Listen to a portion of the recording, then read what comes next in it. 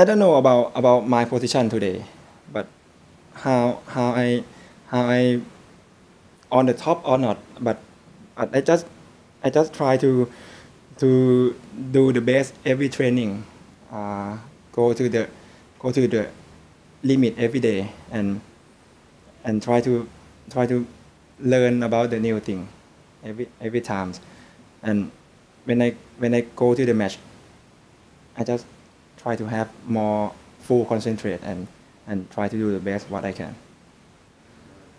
When I was young uh, the first idol is Oliver Kahn. Yes.